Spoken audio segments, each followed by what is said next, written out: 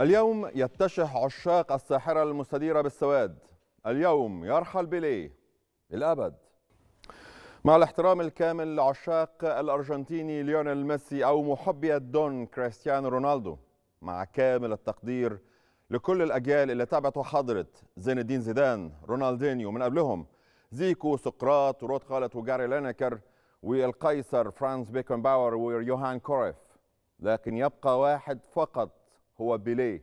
في العالم هو وحده اللي من بين كل أساطير كرة القدم رفع كأس العالم ثلاث مرات. النهارده العالم كله بيقف في جنازة أسطورية رسمية وشعبية بيلقوا نظرة الوداع على العظيم بيليه. كما عاش في سلام رحل في سلام. أهلا بكم. حلقة جديدة من رقم عشرة بنتكلم فيها طبعا عن حدث كبير جدا رحيل بيليه أعظم أو الأسطورة الأعظم في العالم في كرة القدم. طبعا كلنا عارفين إن بيليه هو أعظم من ارتدى القميص رقم عشرة. خلونا نروح نستعرض في جولة تاريخية أفضل من ارتدى القميص رقم عشرة في العالم. على فكرة الاستعراض ده خليناه ضمن نجوم القرن اللي فات. يعني مش هنلاقي فيه هذا الاستعراض لا ميسي أو زين الدين زيدان أو رونالدينيو في هذا الاستعراض. خلونا نبدأ من نجم المجر بوشكاش من المجر طبعا. هو أسطورة ريال مدريد منتخب المجر كان ضمن الجيل الذهبي لمنتخب بلاده بينجح خلال مسيرته مع الميرينجي إن هو يحقق العديد من بطولات مختلفة ما بين الدوري الأسباني أو كأس ملك أسبانيا وكمان دوري أبطال أوروبا النجم العظيم بوشكاش من المجر. بعديه بيجي من فرنسا ميشيل بلاتيني أيقونة الديوك الفرنسية. بيحصل على جائزة الكرة الذهبية اللي مقدمة طبعا من مجلة فرانس فوتبول كأعظم لاعب في العالم. ثلاث مرات على التوالي أسطورة اليوفنتوس الإيطالي. طبعا كلنا عارفين بلاتيني يرفع مع منتخب بلاده كأس الأمم الأوروبية سنة 1984 وهو كمان من ضمن القلائل اللي ما حصلش على أي بطاقة حمراء طوال مسيرته في الملاعب. إلى الأسطورة دياجو أرماندو مارادونا من الأرجنتين كان أول ظهور دولي ليه مع منتخب الأرجنتين كان ضد فريق المغرب في بتاريخ 27 فبراير سنة 1977 كان عنده كام سنة؟ كان عنده 16 سنة. يعتبر أشهر من لمس كرة القدم على مر العصور. البعض بيدعي وأنا منهم الصراحة أن كأس العالم اللي فاز بها الأرجنتين سنة 1986 هي كأس مارادونا. شفنا طبعا التأثير العظيم الكبير جدا لدياجو أرماندو مارادونا. نابولي حقق في تاريخه لقبي الدوري الإيطالي مرتين كانت بقيادة الأسطورة الأرجنتينية ومنذ ذلك الحين لم لم ينجح في تحقيق نابولي الإيطالي لم ينجح في تحقيق أي لقب مجددا. الأرجنتيني دياجو مارادونا حصد كل الألقاب كل الجوائز أثناء مسيرته في ملاعب كرة القدم سواء مع نابولي سواء مع منتخب الأرجنتين. دياجو أرماندو مارادونا وأخيرا يأتي العظيم أسطورة الأساطير البرازيلي بيليه أو الجوهرة السوداء ملك وأيقونة ملاعب كرة القدم الجميع بلا استثناء تلاميذ في حضرة بيليه. الجميع بيتصارعوا على الفوز برفع كأس العالم مرة واحدة في العمر. بس مع احترامي لميسي مع احترامي لكريستيانو رونالدو زين الدين زيدان زيكو سقراط رياض خالد لكن بيليه هو وحده من بين كل أساطير كرة القدم. هو وحده من رفع كأس العالم ثلاث مرات. أول فوز ليه بلقب كأس العالم كانت سنة 1958 بيليه ساعتها كان عنده 17 سنة. كان في النهائي اللي جمع ما بين البرازيل والسويد. البرازيل ساعتها فازت 5 2 في السويد. بيليه ساعتها سجل هدفين. تاني كأس العالم كان 1962 بيليه بيحرز مع البرازيل الهدف أو اللقب الثاني كبطل لكأس العالم سنة 1970 بيصبح بيليه اللاعب الوحيد في التاريخ اللي بيفوز كاس العالم ثلاث مرات بعدما فازت البرازيل في النهائي على إيطاليا 4-1 في نهائي البطولة اللي اتلعبت في المكسيك. وعلى فكرة بيليه سجل أول الأهداف الأربعة للبرازيل. ممكن في ناس بتقارن ما بين مارادونا وميسي أو على الأقل يعني السؤال بيطرح للمناقشه بس الأمر لما بيتعلق ببيليه الجميع عليه إن هو يقف احتراما تبجيلا تقديرا لقيمة الاسم. أديسون ارانتس دو ناسيمينتو أو بيليه. والده سماه على اسم أديسون مخترع المصباح الكهربائي وما يعرفش ما كانش يعرف والده لما سماه أديسون إن بيليه هو كان مخترع الحقيقي للروعة في كرة القدم. عايز أقول لكم حدوتة كده سريعة عن قيمة بيليه قيمة الأجيال اللي ما شافتش بيليه إلا من خلال الفيديوهات. سنة 1967 الفريق اللي كان بيلعب ليه بيليه هو فريق سانتوس في البرازيل قرر إن هو يعمل جولة في البلدان الإفريقية. وقتها كان في حرب أهلية في نيجيريا تحديدا في لاجوس الحرب الأهلية توقفت 48 ساعة. الميليشيات المتحاربة قررت إن هي توقف الحرب 48 ساعة. ليه؟ عشان كلهم يقعدوا جنب بعض بيتفرجوا على بيليه في مباراة استعراضية أمام نادي النسور النيجيرية بمدينة لاجوس هذا هو بيليه. عايزين نتكلم أكتر عن تاريخ بيليه عن أرقام بيليه مع علي أبو طبل الناقد الرياضي. أستاذ علي صباح الفل برحب بيك. بيليه رحل. صباح الفل. طبعا برحب بكل مشاهدي القناة الأولى وبرحب بحضرتك. بالتأكيد يوم حزين في كرة القدم وهو يوم رحيل أيقونة كرة القدم البرازيلية. بيليه يمكن هو الأهم الأيقونة الأهم في تاريخ كرة القدم العديد من النجوم يمكن مروا عبر تاريخ اللعبة ولكن لما تيجي تسأل كل النجوم دي هيتفقوا إن بيليه هو المرجعية الأساسية في كرة القدم وسبب رئيسي في انتشار اللعبة وشعبيتها حول العالم. يمكن طوال مسيرته بيليه ما لعبش إلا مع نادي سانتوس البرازيلي من أول ما ظهر لأول مرة في 1956 هم كانوا بيعتبروه أستاذ علي إن هو يعني أيقونة أو منجم في أو منجم وطني ما يقدروش إن هم يفرطوا فيه. ده حقيقي فعلا لأن هو فعلا ما لعبش طوال مسيرته أو أغلبية مسيرته إلا مع نادي سانتوس البرازيلي من أول ما ظهر في سنة 1956 وكان يعني ظاهرة من أول ما ظهر بعمر 15 سنة. في أول ظهور ليه وأول مباراة ليه قدر يسجل مع سانتوس أربع أهداف. وبعدها ما قدرش أو ما خرجش لأي نادي أوروبي مسيرة بالكامل قضاها مع نادي سانتوس حتى الاعتزال لأول مرة. في 1974 ولكن يعني بعد الاعتزال ده بحوالي 8 شهور كانت له تجربة بقى بعيدا عن الضغوط في الولايات المتحدة الأمريكية صحيح. مع نادي نيويورك كوزموس. صح. رجع من الاعتزال ولعب ثلاث سنوات هناك آه وقدر يساهم إن هم يحققوا دوري الولايات المتحدة في سنة 1977 ووقتها يعني حققوا له آه أو أقاموا له مباراة تكريمية واعتزالية مرة ثانية في 1977 ده حقيقي. آه كان سمعنا أو شفنا فيديوهات لبيليه وهو بيقف حارس مرمى أو بيتمرن كحارس مرمى. هو لعب قبل كده كحارس مرمى في في الفريق البرازيلي اللي كان بيلعب فيه. ده حقيقي. يمكن بعد وفاة بيليه بدأ تظهر قصص كتير عن مسيرته وعن حاجات نادرة كانت بتحصل. نادي سانتوس لف العالم كله في مباريات خيرية مباريات ودية وكان معاهم بيليه ومن خلال الزيارات لبعض الدول الإفريقية. ولعبوا في مصر كمان. ده حقيقي. فعلا لعب النادي الأهلي في في سنة 1973 وزار عدة دول إفريقية ويمكن ال الزيارات في الدول الإفريقية ده المدخل اللي يخلينا عن قصة لعبه كحارس مرمى.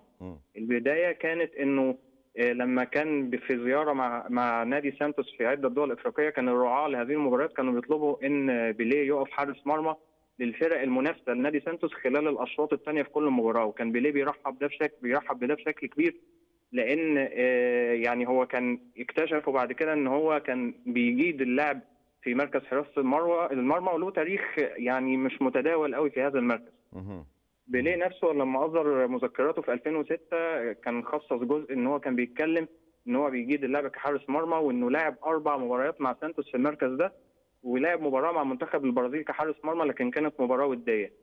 في زملاء سابقين لبيليه كتبوا برضه في في مذكراتهم الشخصية أو قالوا كمان تصريحات تلفزيونية يعني تم أرشفتها إن بيليه كان بيشارك كحارس مرمى في تدريبات كتير مع نادي سانتوس وكان مهتم بأدق التفاصيل الخاصة بحراسة المرمى والتدريب عليها وبيهتم إن هو يسمع ملاحظات مدربي حراسة المرمى عشان يحسن من مستواه كحارس مرمى. وكمان سانتوس نفسه في الخمسينات والستينات كان في لسنوات عديدة جدا كان قائمة الفريق نفسها بيبقاش فيها إلا حارس مرمى واحد وكان الحارس البديل في الطوارئ هو بيليه. كانوا بيعتمدوا عليه كحارس مرمى رقم اثنين في الفريق.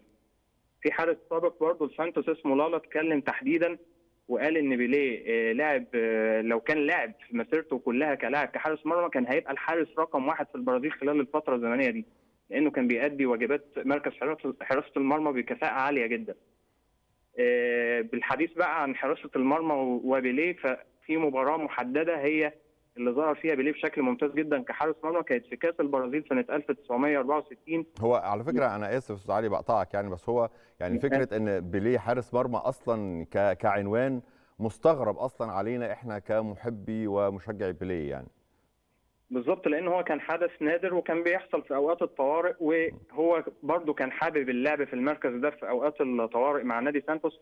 يمكن هو زي ما قال إن هو لعب أربع مباريات في المركز ده مع نادي سانتوس والمباراة الأهم والقصة اللي اتعرف من خلالها إن بيليه عنده إمكانيات كحارس مرمى في مباراة رسمية كانت في نصف نهائي كأس البرازيل 1964 وقتها كان سانتوس بيلاعب جريميو وصحيفة ماركا الإسبانية عملت تقرير بعد وفاة بيليه عن هذه المباراة. آه، مباراة كانت آه، ضد جريميو كان النظام نصف النهائي بيتلعب بنظام الذهاب والإياب. سانتوس ذهابا على ملعبه تفوق بنتيجة 3-1 مم.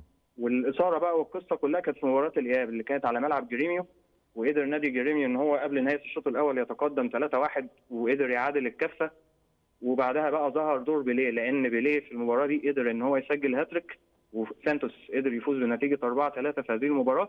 وفي خلال الست دقائق الأخيرة حارس المرمى الأساسي لنادي سانتوس اللي هو كان اسمه جيلمر آه، طرد. ف آه، بيليه لعب ال- الدقائق الأخيرة من المباراة كحارس مرمى في هذه المباراة. ما تكملش بعد إذنك ما تقوليش إن هو كان صد بيلنتي. ما صدش بينالتي ولكن صد فرصتين خطيرتين لجريميو في في فيديو مقطع فيديو متداول على اليوتيوب لملخص هذه المباراة بيظهر تصدي بيليه لفرصتين لجريميو ومنع شباكه إنها تهتز باكثر من الثلاث أهداف اللي تلقاها الفريق في الشوط الأول. وقدر سانتوس إن هو يفوز 4 3 امم. وقدر إنه يوصل مباراة نهائية بفضل ان إن بيليه اولا سجل هاتريك في هذه المباراة. ثم بعد ذلك قدر يحمي شباكه من إنها تهتز. الصحف البرازيلية في اليوم التالي حطت عنوان نقلته الماركة وترجمته الحرفية كالآتي. بيليه نجم كبير في عالم كرة القدم عندما تكون الكره بين أقدامه أو بين يديه. أسطورة أسطورة حقيقي.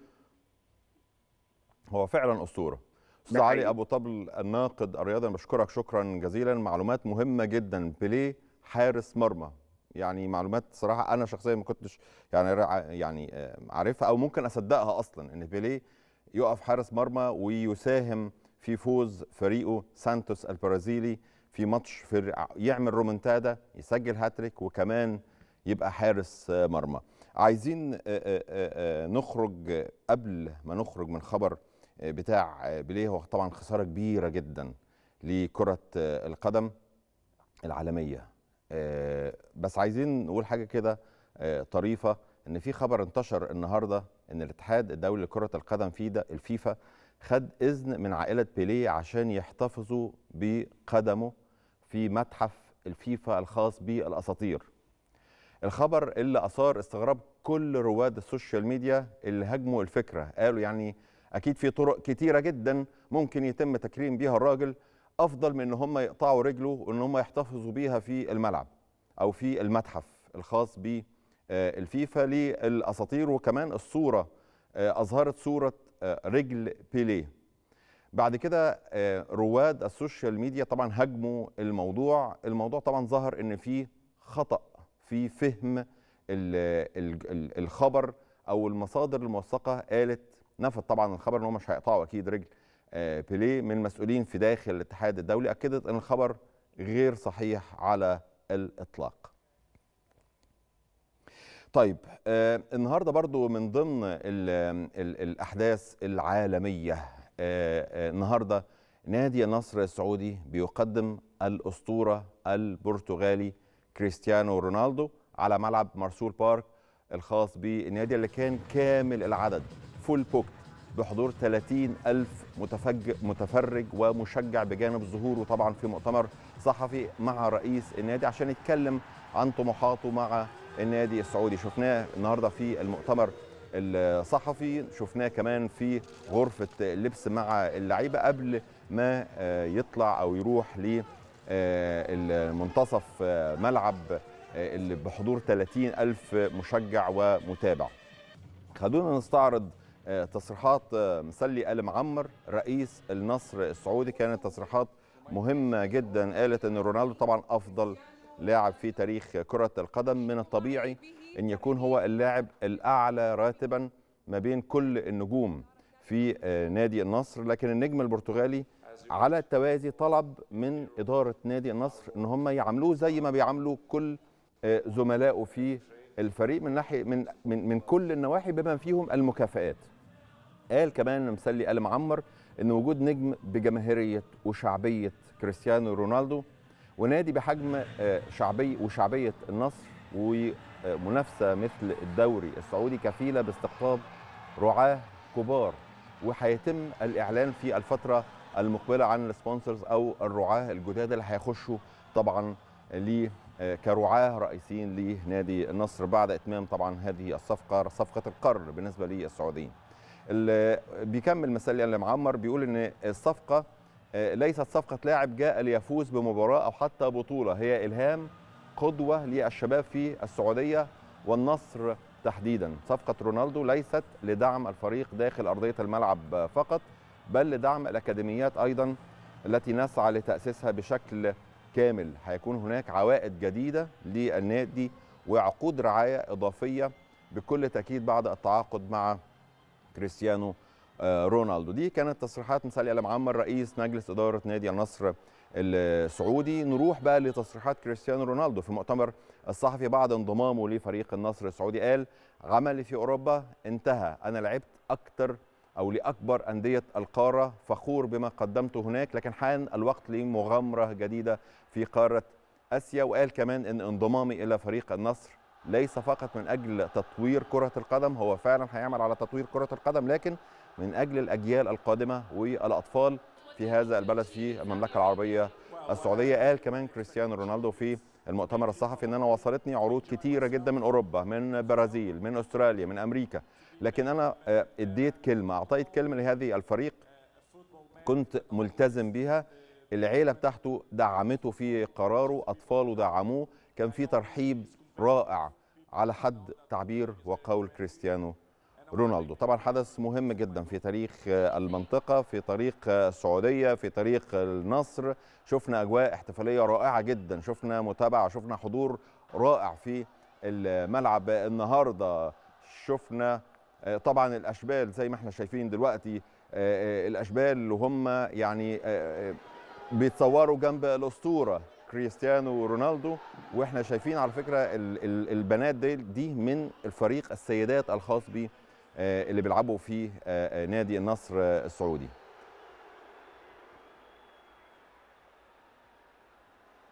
على فكرة النهارده كريستيانو رونالدو أكيد طبعا هو نجم رقم سبعة.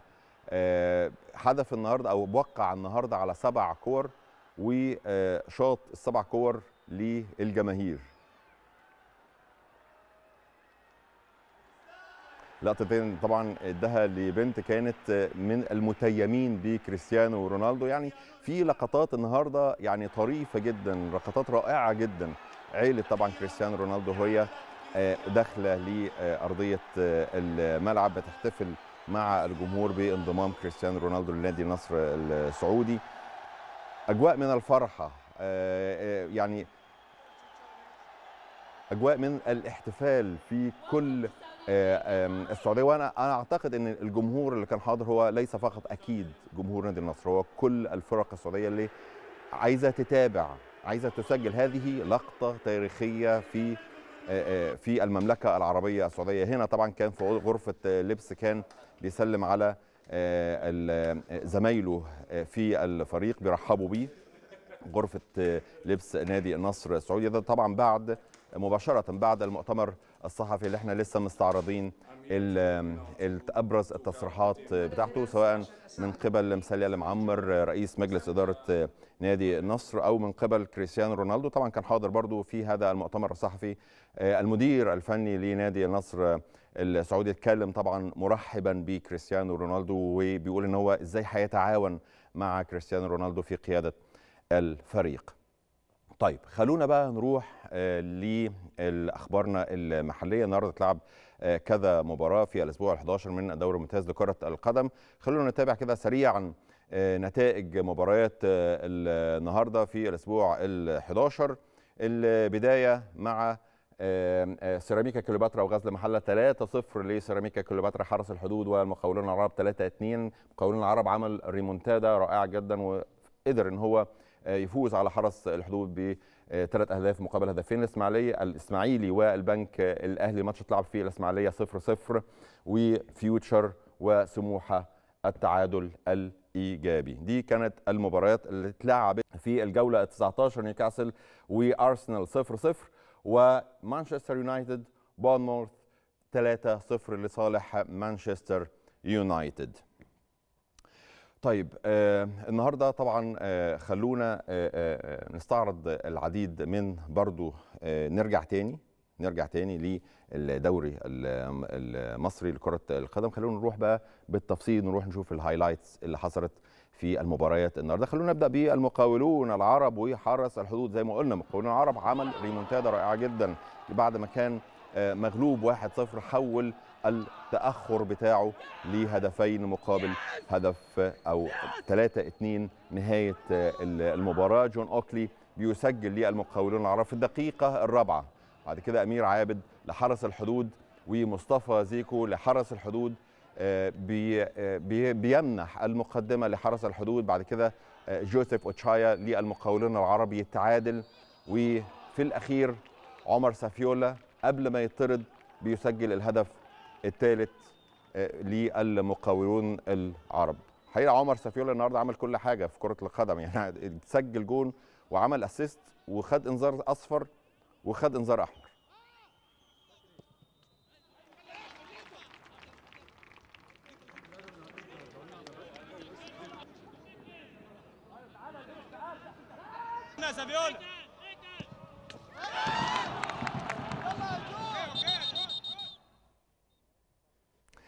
خلونا من نروح لغزل المحله وسيراميكا كليوباترا. سيراميكا عملت ماتش مهم جدا وأداء ولا أروع. 3-0 لصالح سيراميكا كليوباترا. الهدف الأول بيسجله محمد إبراهيم في الدقيقة الرابعة والخمسين. وبعد كده الهدفين الاخرين بتوع سيراميكا كليوباترا بيتسجلوا في ال extra time. أول هدف لأحمد ياسر ريان في الدقيقة الثانية plus 90 وفي الدقيقة الرابعة plus 90 أحمد الأرموطي.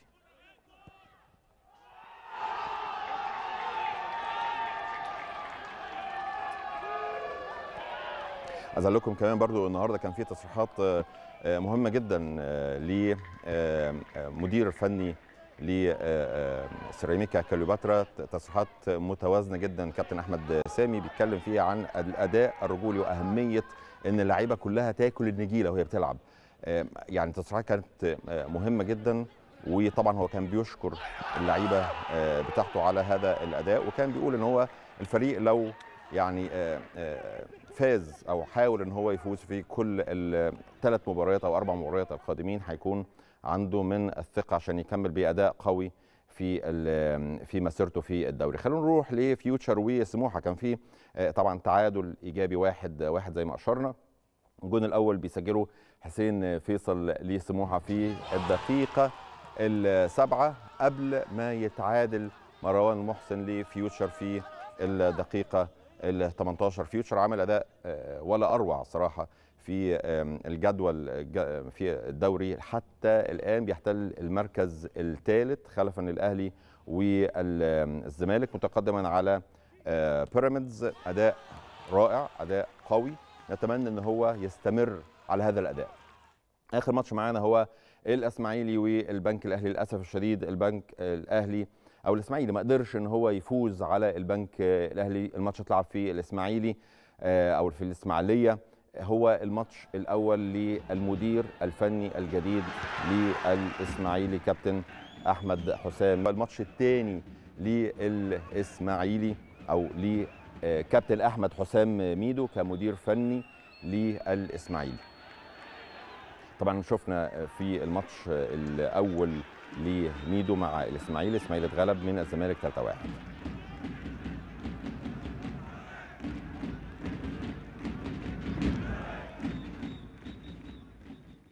دي كان أبرز ال highlights للأسبوع ال11 للدوري الممتاز لكرة القدم. خلونا نروح للأخبار نبدأ بعناوين الأخبار وبعد كده تفاصيل الأخبار. العنوان بيقول الأهلي بيحسم صفقة المهاجم الغاني الشاب عبد العزيز يعقوب من نادي ريو أفي البرتغالي. تفاصيل الخبر بتقول إن الصفقه بتكلف خزينة النادي الأهلي أكثر من 2 مليون دولار مع توقيع اللاعب الغاني على عقد لمدة أربع مواسم ونصف براتب يصل إلى 800 ألف دولار في الموسم الأول بتزيد نسبة 100 ألف دولار كل موسم. اللاعب من المتوقع أن يصل غدا الأربعاء للقاهرة لإتمام الصفقة. هنتكلم طبعا بالتفصيل عن هذه الصفقة مع محللنا اللي هيكونوا إن شاء الله متواجدين معنا في الحلقة النهاردة. الخبر الثاني بيقول اللاعب التونسي محمد الضوي الشهير بكريستو بيصل القاهرة اليوم الأربعاء أو غدا الأربعاء من أجل إجراء الفحوصات الطبية والانضمام إلى الأهلي رسميا، الأهلي بيتفق مع النجم الساحلي التونسي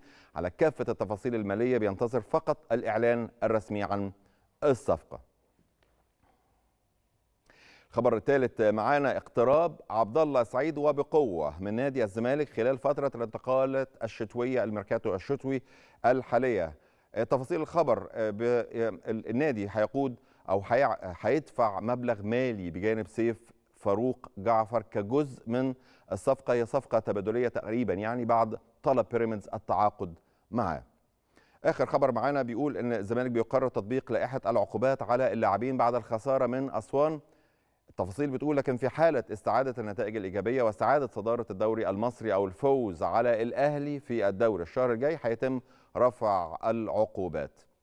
في أخبار تانية معانا بتقول الاسماعيلي بيبلغ بيبلغ الثنائي عمر الوحش ومحمد الشامي بالعودة للتدريبات من بكرة الأربعاء عدم الانتظام في تدريبات المصري البورسعيدي رغم توقيع عقود الانتقال ده عشان إيه؟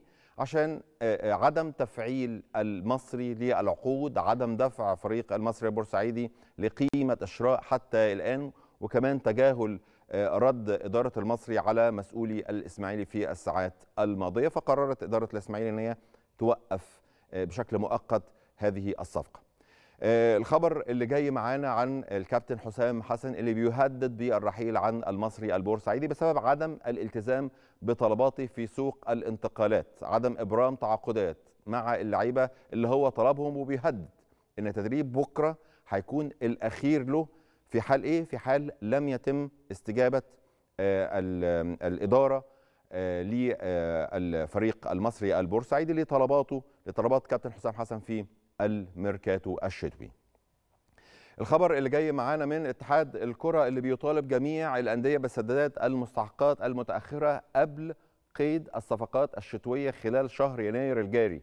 كمان اشترط اتحاد الكرة إن على الزمالك إن هم يسددوا 70 مليون جنيه عشان يسمح ليهم إن هم بالقيد الشتوي في ميركاتو الشتوي. بيعتبر هذا المبلغ مديونيات مستحقة لاتحاد الكرة من الزم... على الزمالك لاتحاد الكرة سواء من قيمة توثيق عقود للعيبة السابقة أو عائد البث الفضائي. كمان قرر الاتحاد اتحاد كرة القدم إن هو منع الإسماعيلي من القيد الشتوي بسبب عدم سداده مبلغ 28 مليون جنيه لنادي النجوم هي كمان مستحقات متأخرة من صفقة بيع إبراهيم حسن لاعب الإسماعيلي والنجوم الأسبق إلى الزمالك. خلونا نروح بقى سريعا برضو استعراض لماتشات بكرة نبدا بالدوري المصري لكره القدم في لسه إحنا مستمرين في الجولة ال11 آخر ماتش معانا في هذه الجولة فاركو مع طلائع الجيش. الماتش هيتلعب الساعة 5 ومن الدوري المصري إلى الدوري الإنجليزي الجوله ال 19 بكرة هيكون عندنا ماتشات أو ماتش مهم من بين توتنهام وكريستال بالاس. هيتلعب الماتش الساعة 10 إلا ربع طبعا بتوقيت المصري من. ونص وإنتر ميلان ونابولي الإيطالي. الساعة 10 الا ربع ساليريناتا الساعة مع ميلان هيلعبوا الساعة واحدة ونص. دي جولة 16 من الكالتشو الإيطالي. طيب خلونا يا جماعة نروح بقى لفاصل سريع. نرجع لكم مع المحلل الرياضي آسر حسين. كلام كتير عن الأسطورة بيليه كلام كتير عن صفقة رونالدو. مع النصر إيه اللي هيحصل في الدوري الإنجليزي تحديدا مع ليفربول. أرجوكم ابقوا معنا. أهلا بكم. رجعنا لكم بعد الفاصل بينضم إلينا محلل رياضي أستاذ اسر حسين. أستاذ اسر برحب بيك. أهلا بيك أستاذ رجاء. سعيد إني معاك ونتقابلنا لأول مرة. أنا أسعد والله.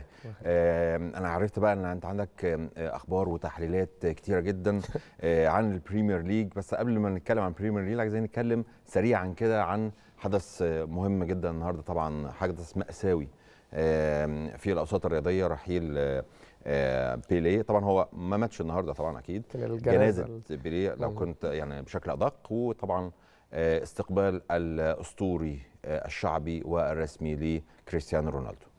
الحقيقة أستاذ رجائي يمكن آه، الكرة فقدت فعلا أسطورة كبيرة جدا. آه، مهما دخلنا في الصراع زي اليوم يعني العصر الحديث ما بنتكلم آه، على كريستيانو ميسي و... كان دايما مارادونا بيليه. آه لكن يبقى أحد مؤسسي كرة القدم. يعني يعني فكرة إنه مش بس أسطورة آه حط كرة القدم على الخريطة. حتى البرازيل اللي دلوقتي إحنا بنتباهى أو آه آه شعب البرازيل أو مشجعي البرازيل إحنا البرازيل إحنا قوة عظمى إحنا أكتر فريق معاه كأس عالم. ده ما كانش موجود قبل بيليه. بيليه حط حجر الأساس ده من أول بطولة شارك فيها. اللاعب الوحيد اللي حقق ثلاثة كأس عالم. اللاعب الوحيد اللي عنده 92 هاتريك. اللاعب الوحيد أول أصغر لاعب يسجل في كأس عالم بعمر 17 سنة.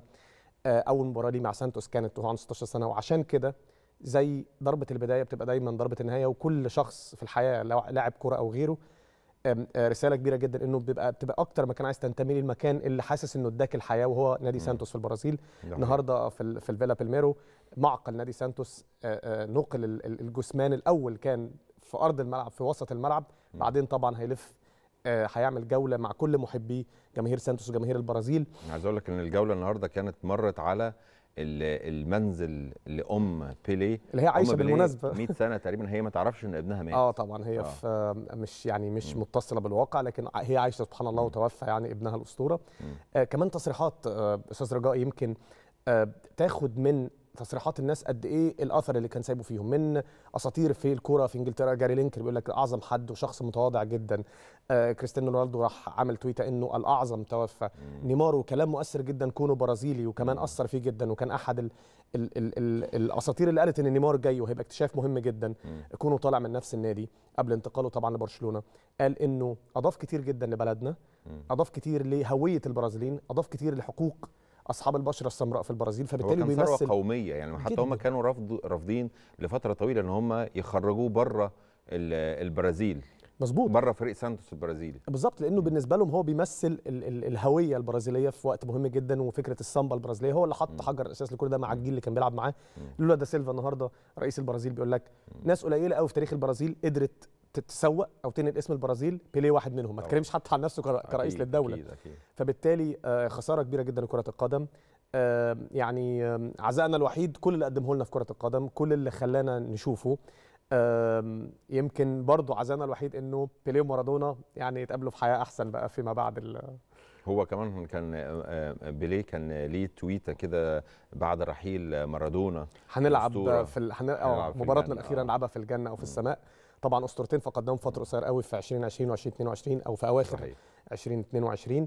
آه كمان هو نفسه كان دايما يقول كان ليه تصريح مهم قوي يا أستاذ رجاء بيليه يقول لك أنا خلقت أو اتولدت ربنا نزلني. عشان ألعب كرة قدم. صحيح. آه زي ما بيتهوفن. هو كان بيقول كده زي ما بيتهوفن أنتوا بتقولوا عليه اتولد عشان يألف موسيقى وزي ما مايكل أنجلو عشان يرسم لوحات عظيمة. أنا أنا نزلت عشان أو اتولدت في الأرض دي عشان أعمل كرة. وفعلا هو أحد رسامي كره كرة القدم وأحد اللي حطوا حجر الأساس للعبة الشعبية الأولى في العالم. عظيم جدا. آه ننتقل من أسطورة آه ماتت إلى أسطورة حية كريستيانو رونالدو والاستقبال الرسمي والاستقبال الشعبي. النهارده لنجم بحجم الدون كريستيانو رونالدو شايف الاستقبال إزاي؟ إيه أبرز الرسائل اللي بيحاول نادي النصر إنه يوجهها للعالم من التعاقد مع صفقة بحجم كريستيانو رونالدو؟ الحقيقة أستاذ رجاء يمكن آه الصفقة إلى أن تمت أنا واحد من الناس لحد آخر لحظة ما كنتش متوقع إنها تحصل وبشكك إنه آه آه. ستنتقل آه إشاعات. أو ستنتقل الدفة إلى مم. الأراضي العربية أو. النادي نادينا النصر العربي ال- ال- السعودي يعني مم. أو إنه يلعب في دوري عربي آه كريستيانو رونالدو أخيرا وتبقى آخر محطة ليه لكن الحقيقة تحقق ال ال ال ال كل ال- ال- الحاجة اللي كنا شايفينها بعيدة بعتقد نادي النصر كان قدم ال الاحتفال المناسب جدا وعرف يروج ليه يعني بشكل قوي جدا وجوده في مرسول بارك النهارده وكمان طبعا هيكون في حدث كمان يمكن بيوازي القوة. لأول ده أول مرة ينزل بيه تيشيرت النصر والجماهير تشوفها تقديم اللاعب. يوم الخميس آه، آه، بعد بكرة يبقى أول مباراة رسمية لكريستيانو رونالدو بقميص نادي النصر أمام الطائي. يوم الخميس فبعتقد ده برضو هتلاقي أعين العالم كلها تتجه هناك مش أعين العرب. الإعلان عن الموضوع ده؟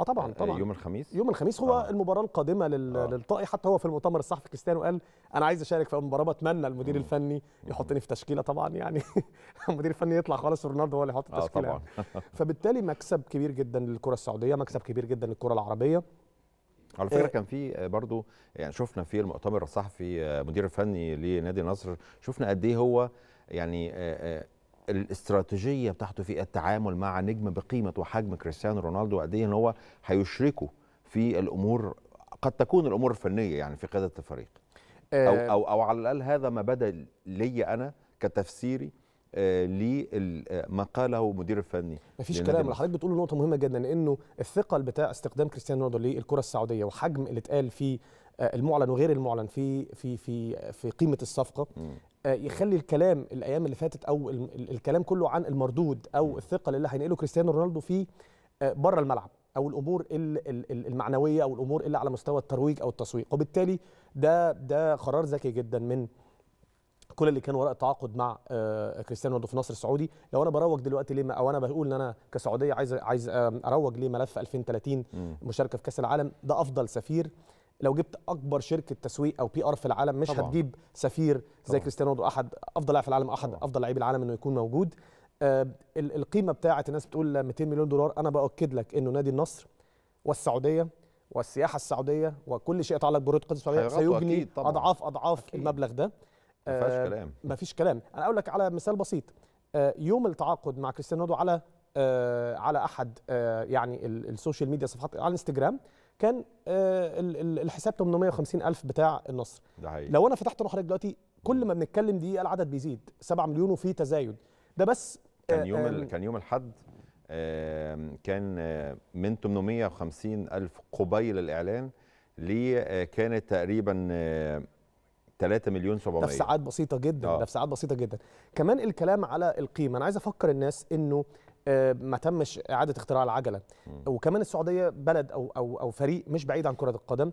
ال- الشعب بتاعه بيحب كرة القدم. كان قدم صورة آه، رغم طبعا خروج من من من الدور الأول لكن قدم آه، آه، فوز تاريخي كبير جدا مهم على الأرجنتين. وكان قدم للعالم كله قال للناس أنا كورتي إيه أنا عرفت أكسب بطل العالم في وجود ميسي في أول مباراة في كأس العالم. فبالتالي السعودية بلد مش غريب عن كرة القدم. مم. نفكر الناس في 2007 ديفيد بيكهام راح LA Galaxy. لأن آه، أمريكا كبلد والنادي كانوا عايزين يستخدموا لاعب يحبب الشعب الأمريكي في كرة القدم وتصبح لعبة شعبية مم. وكان التعاقد ساعتها في 2007 وقارن يا أستاذ رجائي فارق مم. الأسعار أيوه وفارق التضخم مم. إنه 250 مليون دولار وكان اللاعب أو الرياضي الأكثر دخلا في أمريكا مم.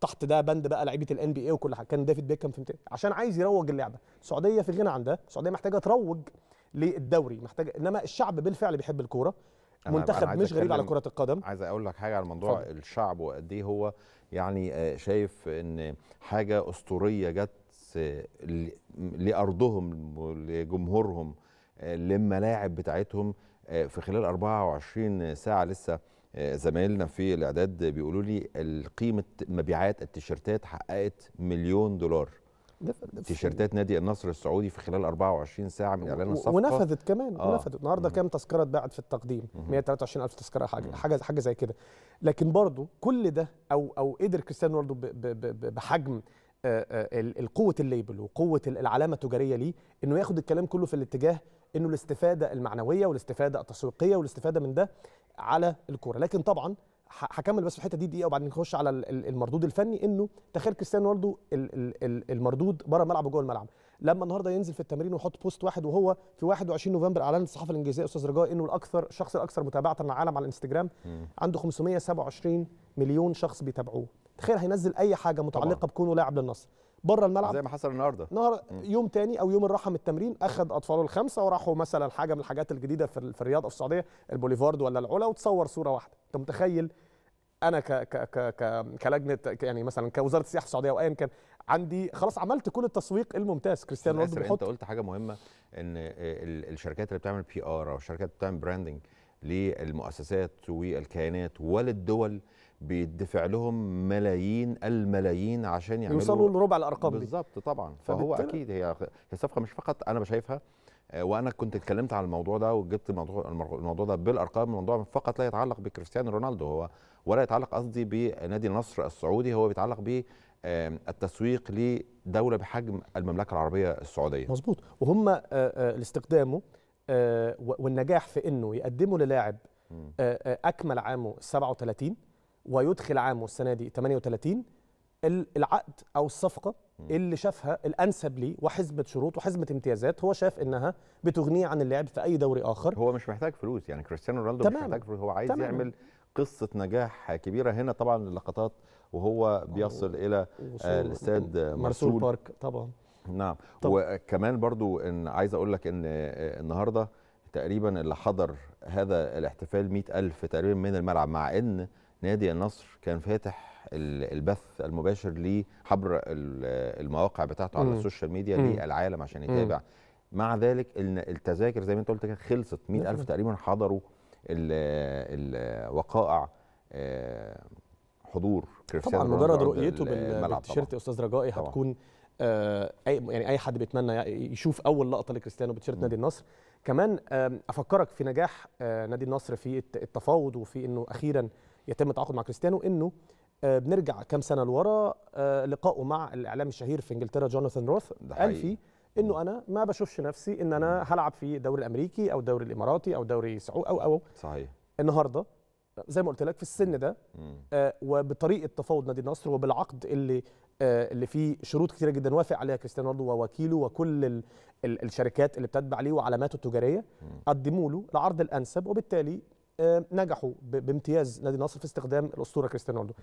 نخش بقى على الجزء الفني لأنه الكلام الترويجي طبعا خد منك كتير الثقة المهم جدا يا أستاذ رجاء ردا على سؤالك. شفنا اختلاف في نوعية أو في طريقة ثقة آه، لما اتحطت في موقف تحت ضغط اللعيب اللاعب السعودي في كأس العالم في المنتخب لما كل لاعب في في في الأرجنتين. دوريه طبعا القوام معظمهم من الهلال لكن كل لاعب كان بيزامل جنبه لعيب أجنبي مهم جدا. وده اتجاه. بقاله في الدوري السعودي أستاذ رجاء حوالي ثلاث سنين. ما جابش اللعيب اللي عنده 34 و35 لا ماريجا في, في, في ال prime أو في العز التألق بتاعه في بورتو عنده 29 سنة هجيبه الدوري السعودي. فبالتالي ده علّى من ثقة وإنه بيزاملوا لعيبة دولية وجوه غرفة خلع الملابس اللعيبة السعودية بتستفيد من ده وبيتنقل في الملعب زي ما شفنا نسخة مبشرة جدا بالفوز الأسطوري طبعا على الأرجنتين.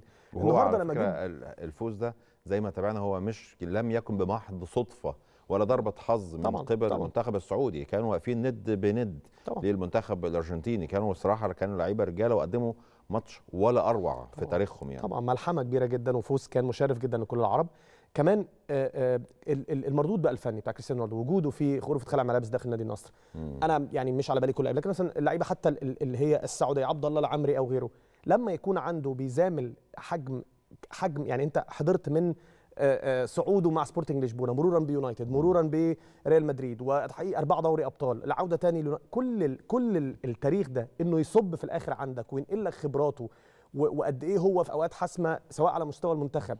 أو على مستوى ال ال ال ال واحد لعب في أهم بطولة في أوروبا دوري أبطال أوروبا مشي منها أو قرر الابتعاد عن دوري وهو أسطورتها وهو الهداف ال- التاريخي 140 هدف لبطولة دوري أبطال أوروبا. فبالتالي في كل اللحظات اللعيبة هتحتاجه هتبص له هتستفيد إيه اللي ممكن يحصل في التوقيتات دي. نادي النصر نفسه هيتنقل فنيا كتير جدا مع كريستيانو رونالدو لأنه في التوقيتات اللي محتاجة آه، لعيب عنده خبرة آه، لعيب ينقل خبراته للعيبة هيبقى أنا بشوف إنه وجود نجم أسطوري في الملعب slash أو بجانب إنه بيعمل coaching في نفس الوقت. إنه طول الوقت بيدي رسائل طول الوقت بيحمس الفريق طول الوقت بيديهم حاجات اللعيب مش قادر لو أتخيل يا أستاذ ياسر اللمسة الأولى لكريستيانو رونالدو للكرة وسط طبعا الجماهير وسط يعني أنا أعتقد تبقى أصلا لحظة تاريخية طبعا مفيش كلام. لينا كلنا آه مش طبعاً، حتى. للدوري السعودي خالص بس يعني أستاذ رجائي فبالتالي المردود الفني مهم جدا. يمكن ما خدش حقه في الكلام أو إحنا ما خدناش حقنا في الكلام عنه. أنا وحضرتك لأنه المردود التسويقي هائل جدا. وشايفينه بعينينا حتى قبل زي ما حضرتك بتقول يبدأ أول لمسة أو أو يلعب أول مباراة رسمية. ده كل ده ما يعني قبيل إنه المشاركة. ما بالك مع بداية أول مباراة آه، الفريق النصر دلوقتي متصدر آخر مباراة كسب الخليج فرصة كويسة كريستيانو يخش بقى في منافسات الدوري. متخيل مع أول مباراة إيه اللي هيحصل؟ إحنا بنتكلم كل ده قبل ما يلمس أول كورة أو يشارك أول مباراة. تمام. خلينا بقى ننتقل أستاذ ياسر آه، للبريمير ليج. شفنا آم، كارثة والسنة السابعة ليورجن كلوب آه، في تاريخ طبعا تدريبه مع ماينز مع بروسيا دورتموند. لعنة في السبع البوندسليغ السنة طبعا السبعه لعنة السنة السابعة. آه، اللعنة ما زالت ممكن متكرره قبل ما نتكلم على ليفربول والمشكلة بتاعت ليفربول السنة دي خلينا نستعرض سريعا آه، مباريات اللي اتلعبت النهارده في البريمير ليج. النهارده آه، مانشستر يونايتد شفناه آه، كسب ثلاثة بيعمل أداء آه، كويس. شفنا أرسنال المتصدر آه، النهارده بيتعادل آه، سلبيا. أعتقد هو ما زال هو المتصدر آه، يعني. يمكن هاخد طب طالما نقلنا من رونالدو نخش على يونايتد على طول.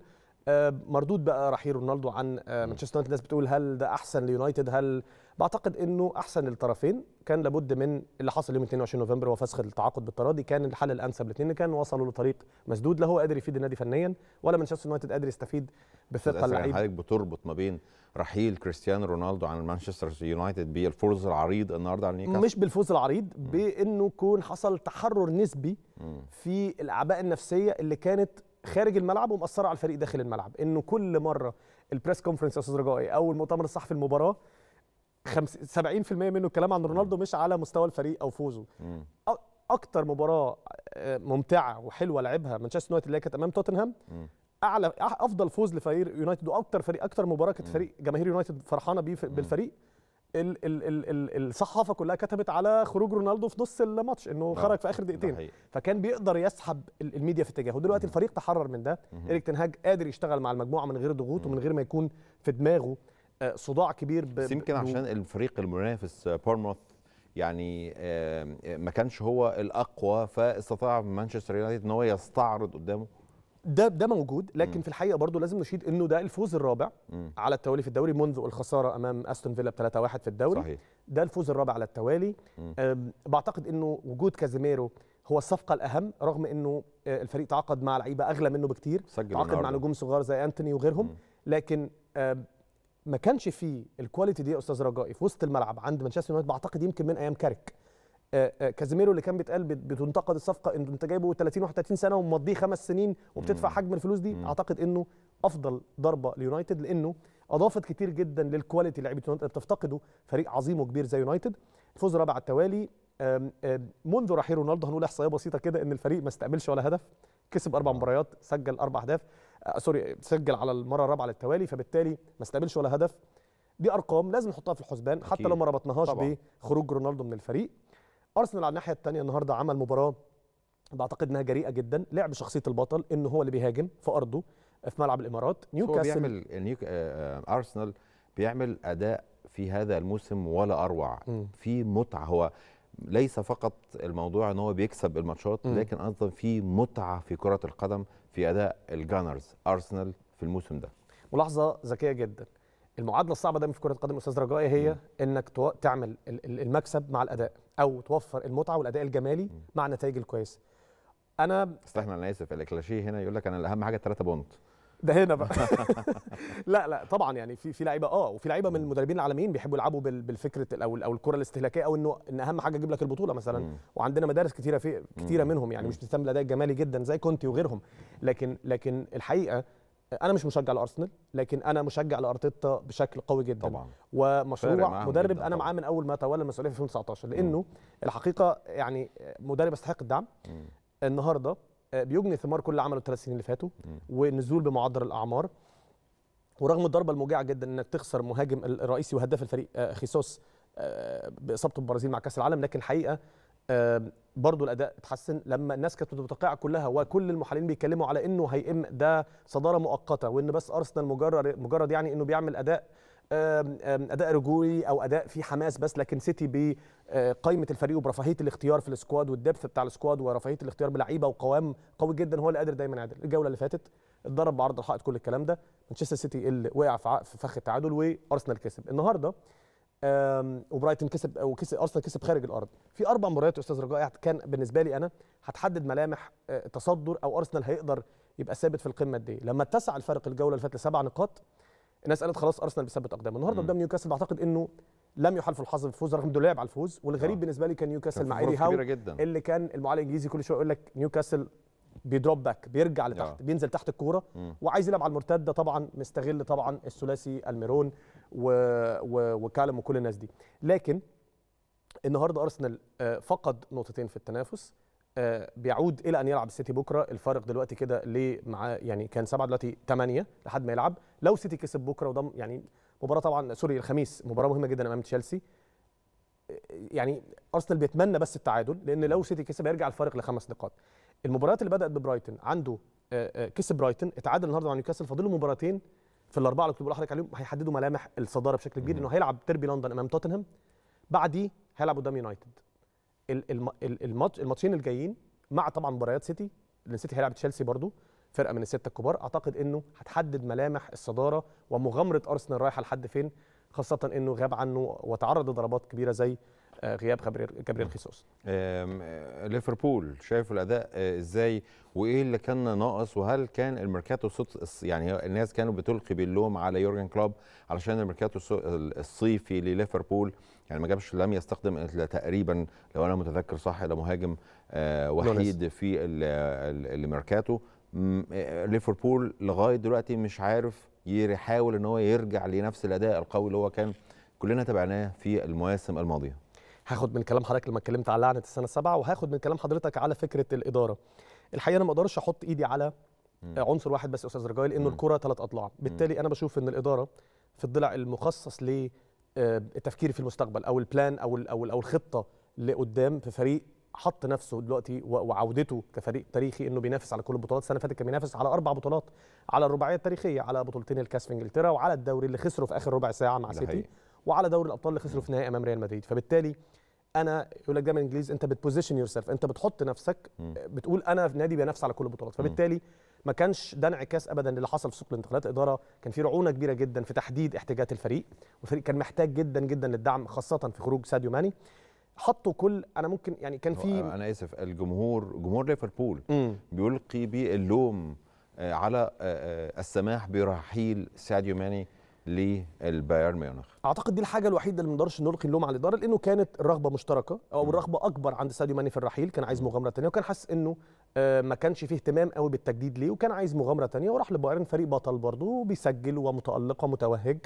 آه، فبالتالي بعتقد إن دي يعني مش دي غلطة الإدارة الحقيقية إنما أستاذ رجاء إن أنت تحط ال 100 مليون أنا ممكن أعمل صفقات نوعية بمبلغ معين لكن ما أحطهاش كلها في مركز واحد. فالخطأ كان إن أحط الرقم كله وليفربول ما كانش عنده حاجز ال 100 ده قبل كده أول مرة يكسره من أجل نونز.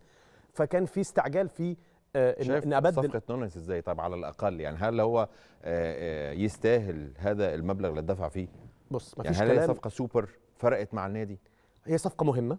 مهاجم كويس جدا شفناه مع بنفيكا شفناه مع منتخب بلاده. لكن آه برضه ما أقدرش أمشي مع ال ال ال الترند أو الناس آه إيه آه. لكن عنده إحصائية سلبية جدا إنه؟ النهارده هو أكتر مهاجم أضاع فرص محققة 15 فرصة محققة أمام المرمى. آه بالامس يا أستاذ رجائي لما تفتح آه رغم الخساره امام برانفورد 3-1 لما يتفتح فرصه للتسجيل والمرمى خالي في الدقيقه السابعه ليفربول حاليا بمستواه المتذبذب ده ما عندوش وجماهير ليفربول ما عندهاش رفاهية انك تضيع الفرص دي المهاجم بيقتل الفرص تحط قدام المرمى بيسجل بالتالي لو كان في, فريق تاني أقل آه، آه،. يعني مركزه أقل أو في منتصف الجدول كانوا هيتحملوا ده لكن ليفربول فريق المفروض إنه بينافس ابتعد عن المنافسة بدري جدا جدا الموسم ده. بقاله خمس سنين وصيف ثم البطل ثم الوصيف ثم الثالث ثم فبالتالي هو دايما يا الأول يا الثاني. النهارده بادئ المنافسة مش عايز أقول فقد المنافسة لكن ابتعد كتير جدا. يورجن كلوب على الناحية الثانية طبعا هو ليه أي فرص أو حظوظ في الموسم ده.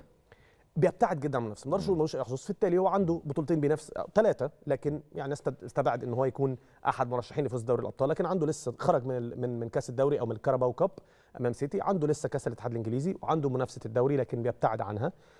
الناحية الثانية كمان إنه الإدارة حتى لما جابت نونز وواضح إنه في آخر الأوقات قبل غلق سوق الانتقالات محتاجة لعيب في وسط الملعب. مم.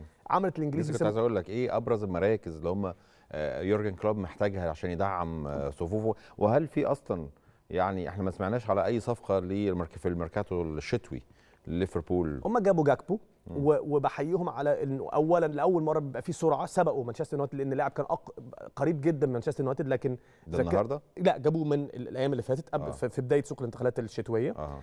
آه لعيب ما شاركش لسه كان بيتفرج على المباراة من المدرجات بقرار يورجن كلوب إنه لسه محتاج يعني يدمج في الفرقة. أها. صفقة كويسة. أنا الوم يورجن كلوب في حاجاته ما أقدرش الومه لأنه برضه تعرض لفريق اصابات كتيرة جدا. حتى لعيب اللي هو احد كباتن الفريق المباراة اللي فاتت هندرسون قبل المباراه بيجي له ارتجاج ففي حاجات برضه خارج الكورة بتعرض على ليفربول. لكن بقول لحضرتك الأضلاع كلها الإدارة. بسوء ساعات سوء البدء بالتشكيل قلة الخيارات اللي عند يورجن كلوب إنه ينقي البديل. آه، خياراته الهجومية كلها مصابة فيرمينيو ودياز وجوتا. فبالتالي بيدخل لعيب لعيب تاني بيتصاب. لما حس إنه عنده على آخر وقت محتاج لعيب في وسط الملعب عملوا زي ما الإنجليز بيقولوا أستاذ رجاء ال panic buy. إنه اشترى بس عشان يلحق السوق. اشترى آرثر من يوفنتوس الإيطالي لعيب شارك 14 دقيقة بس من سبتمبر الماضي في مباراة نابولي اللي خسروا 4-1 فأنا اللعيب اللي جايبه يشيل عن وسط ملعبي أو يضيف لوسط الملعب أو يعمل يديني رفاهية الاختيار في وسط الملعب آه، فقدته للإصابة حتى الآن. أشكرك شكرا جزيلا آسر حسين. أنا شكرا قلت آسر. قبل كده ولا؟ لا دي أول مرة. آسر حسين أشكرك شكرا جزيلا. شرفت إني كنت معاك. آه، بجد يعني أرقام وإحصائيات وتحليلات غاية في الأهمية. ربنا أنا. اتبسطت بجد النهارده. أنا سعدت جدا ان قابلت حضرتك. اشكرك شكرا جزيلا. طيب على أي حال إحنا يا جماعة لسه مكملين. نخرج بس فاصل. ونرجع تاني مع النقاد الرياضيين أستاذ أحمد الشامي أستاذ أحمد عبد الحميد. عايزين نتكلم بقى كتير جدا عن الصفقات اللي تم الإعلان عنها النهارده. فاصل ونرجع لكم تاني. أرجوكم ابقوا معنا. رجعنا لكم تاني بعد الفاصل. عايزين بقى نتكلم عن سوق الانتقالات الشتوية. أخبار الصفقات والتعاقدات اللي إحنا آه، شفناها وتابعناها النهارده. بينضم لينا هنا أستاذ أحمد الشامي. والأستاذ أحمد عبد الحميد. أهلا آه، أهلا بحضرتك. أنا عايز أقول لكم يا جماعة إن الاثنين اسمهم أحمد عبد الحميد. واحد اسمه أحمد عبد الحميد عبد الحميد عبد الحميد. واحد اسمه أحمد عبد الحميد الشامي. ف... فهي بادية بلخبطه بالظبط كده. أنا عايز أكمل لك كمان إن أنا رئيس قسم الرياضة في الاهرام وأحمد النابل آه. كمان. طيب واضح إن أنا أنا اللي ضيف عندكم النهارده. طيب عايزين بقى نتكلم عن آه، صفقات آه، النادي ال- الأهلي النهارده. آه، تم الإعلان عن صفقة عبد العزيز يعقوب الغاني قادما من البرتغال. عايزين نتكلم الأول عن الصفقة كواليس الصفقة وبعدين عايزين نتكلم عن قيمة الصفقة دي بالأرقام وتحليلها هل هي مفيدة للنادي الأهلي وهل الأهلي- النادي الأهلي هيستفيد منها إزاي؟ اتفضل أحمد. هو آه، يعني مبدئيا خليني آه، يعني أخرج بره سؤالك ونشيد بقدرهم باختلاف مم. والدور الكبير اللي اللي حصل ما بين وزارة الشباب والرياضة والتنسيق مع رئاسة الجمهورية. آه، آه، حدث عظيم انتهت بيه 2022 آه، كان لازم نهتم بقدرهم باختلاف لأن هي طبعاً. فعلا حدث آه، آه، أنا بقول سنوي آه، الرئيس السيسي قادر آه، آه، ومهتم بالحدث بشكل مستمر وده كان دور بارز لوزارة الشباب والرياضه إن هي تقدم حدث كبير آه، ينال آه، اهتمام وإعجاب الجميع سواء في مصر أو الدول العربية وحتى كمان المصريين وال- والأجانب تابعوا الحدث باهتمام كبير من خلال جميع وسائل الإعلام اللي تناقلته. آه، هكمل معاك مع الصفقات بقى. هو المفروض إن اللعيب خلاص إن شاء الله يوصل النهارده الأربع إلى إلى مصر علشان يخضع لل- للفحص الطبي. ثم آه، إمكانية التعاقد من عدمه بعد الفحص الطبي. الصفقه رقمها كبير. أعتقد أحمد شوية مهتم بال بال بال بالأمور الصفقة. الرقمية. لكن الصفقة أنا شايف ان هو لعيب. لما قريت عنه شوية في ال في ال في البحث آه، يعني مستوى التهديف مع المشاركة بعيد. يعني أنا لما أتكلم مثلا لو شارك في بالنسب 50% تهديف. يعني لو. شارك في 100 مباراة فهو. بيسجل 50 هدف. لو. شارك 50 مباراة بيسجل 25 هدف. أنا أعتقد إن الأهلي كان يقدر يكون عنده صفقة أكبر وصفقة من أفريقيا نفسها. هتكون أفيد بكتير آه ممكن يكون هو لعيب هو غاني أما أنا فاهم بس هو لعيب عايش في في الدوري البرتغالي.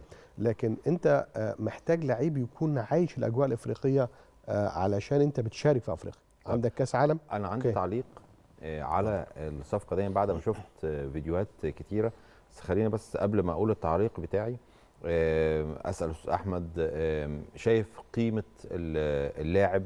هل النادي الأهلي ممكن يستفيد منه؟ قيمة الصفقة against أو مقابل قيمة اللاعب ذات نفسها؟ ده يتوقف طبعا على مردود اللاعب بشكل كبير. هو اللاعب جاي من نادي في وسط جدول في الدوري البرتغالي أيوة. طبعا الأندية في وسط الجدول دايما حتى بقى عندنا في الدوري المصري بتعتمد على ال zone defense وبتلعب على المساحات الخالية بشكل كبير. هو لاعب سريع جدا عنده أكثر ميزة عنده بشكل كبير إن هو سريع بيقدر يتحرك في المساحات الخالية بشكل كويس. بس وكمان عنده ميزة طبعا كويسة جدا إن هو بيلعب رجل الاثنين ودي حاجة ودي حاجة مميزة والهيدر جدا بتاعه برضو آه. كويس. هو آه له احصائيه إن هو جاب ست الاهداف بتوعه في ال- الموسم ده منهم حوالي اثنين أو ثلاثة أو ثلاثة أعتقد اهداف رئيسية. آه. على على المدار الاهداف بتاعته في بتنقلاته في الدوري ال- البرتغالي جاب حوالي برضه بيجيد ضربات الجزاء بشكل كويس جاب حوالي تسع أهداف من من إجمالي. الأرقام موجودة على هو الأرقام زي ما حضرتك آه، زي ما إحنا شايفين آه، لعب 14 آه، مباراة عدد دقائق اللعب 1900 أو 1094 دقيقة عدد الأهداف في الدوري 6 التمريرات الأسيست 3 عدد الأهداف في كأس الأليانز 2 واحد هدفين. واحد. واحد هدفين آه. عدد الأهداف في الكأس. هو عدد المباريات اللي لعبها مباراة واحدة وعدد الأهداف اتنين. يعني معنى ذلك إحنا لو جمعنا اتنين مع ست أهداف آه وعندنا ثلاثة assist يعني بنتكلم تقريبا في 11 تقريبا يعني في 11 آه جون يا إما أهداف أو assist. عدد المباريات بقى آه. الإجمالية اللي لعبها زي ما حضرتك كده اشرت 120 مباراة لعبها في آه آه، كل المسابقات. الأهداف 50 هدف ال- التمريرات ال assist التمريرات الحاسمة 12 تمريرة. يعني إحنا بنتكلم برضو تقريبا 60 يعني إحنا بنتكلم زي ما أنت بتقول كده ومعظم- 120 مباراة تقريبا 60 آه، حوالي- جون أو assist بالظبط 60% من أو أقل أقل 50%. 55% بكتير كان أهداف بال دي نسبة عالية ولا بالرجل. نسبة متوسطة نسبة نسبة ولا كويسة للاعب بيلعب؟ في بيلعب في نادي آه، في متوسط الجدول أو آه. لاعب في نادي ممكن ينافس على الهبوط بشكل كبير يعني آه لأن الأندية في نادي ريو أفي بشكل كبير يلعب بيلعب zone defense بيلعب على آه. المساحات معظم الفيديوهات اللي شفناها يعني طبعا أنا عندي اعتقاد شخصي ان أنا ما ينفعش أجيب لاعب من خلال الفيديوهات يعني ده بيبقى صعب. إحنا عندنا وبرضه أصلا مارسيل عندنا- عنده آه. يعني آه، فكرة إن هو الاعتماد على الفيديوهات هو ما بيحبش يقيم اللاعب اعتمادا على الفيديوهات بشكل عام يعني. ما أعرفش الصفقة دي عمل إيه. آه ما يعني مثلا اللاعب الغني اللي كان الاهلي عايز يتعاقد معاه اللاعب منتخب غدا اما شافه قال لك. لا أنا مش مش محتاجه ومش هيقدر يفيدني.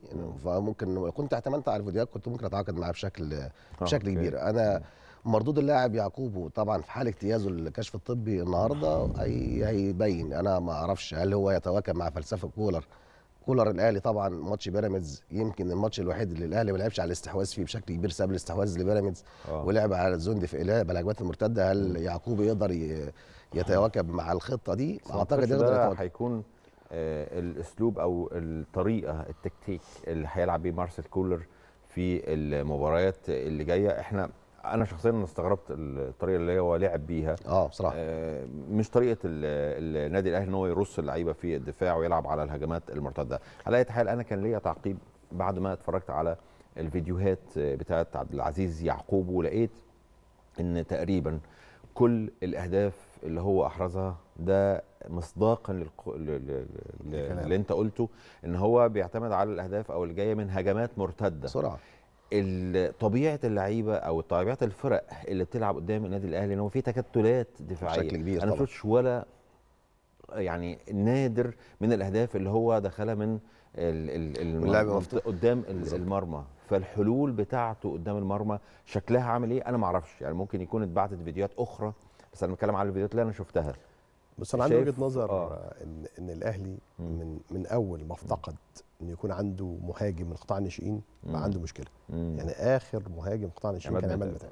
بعد عماد متعب افتقد الأهلي إن يكون عنده مهاجم سواء بقى محمد شريف أو شادي حسين أو حسام حسن اللي رجع سموحة ما أعرفش هو جه ورجع إزاي آه، شادي حسين حتى الآن غير موجود آه، محمد شريف أصلا كان كان بدايته من أول يعني الفترة اللي كنا بنتكلم فيها في من السنة اللي فاتت كان مميز بعد كده اختفى حالة غريبة بتحصل للمهاجمين في النادي الأهلي.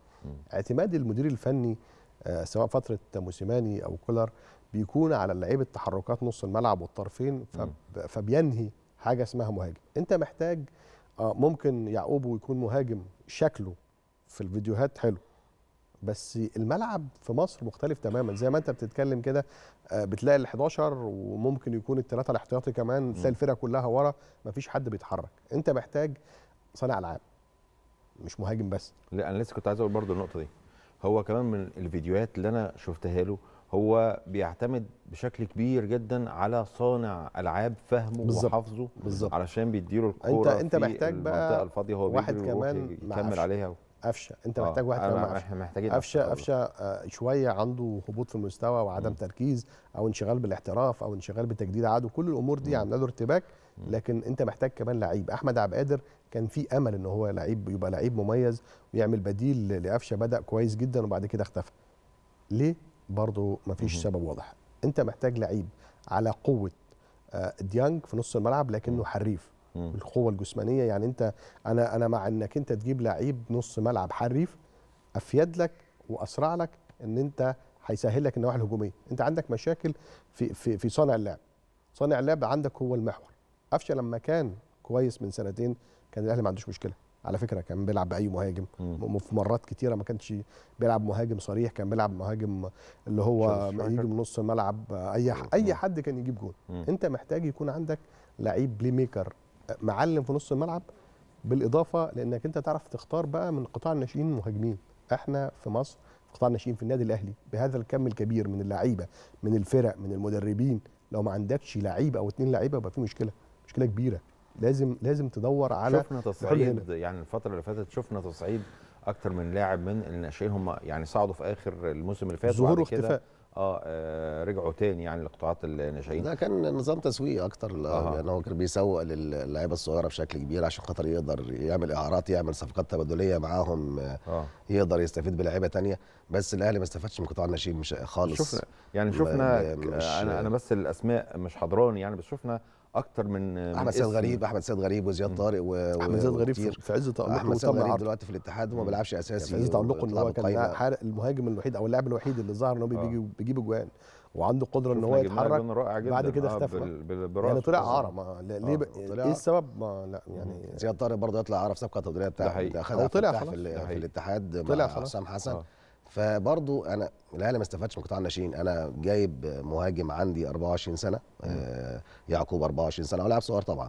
مردوده طبعا لازم يكون كولر موافق على وجوده أكيد يعني ما ينفعش هو أنا آسف هو مدير فني. بالنسبة لهنا. آه. بس بالنسبة للدوريات ال- ال- الأجنبية هو لاعب كبير هو طبعاً. لاعب كبير 24 سنة بس ده يعني بيسموها يعني ده ما بين قوسين ده عز النضج الفني بالنسبة للاعب كورة يعني. تمام. 24 سنة ده نضج فني. صلاح في 24 سنة بدأ يبقى عنده يبدأ سلم النضج الفني بشكل ده كويس. حقيقي.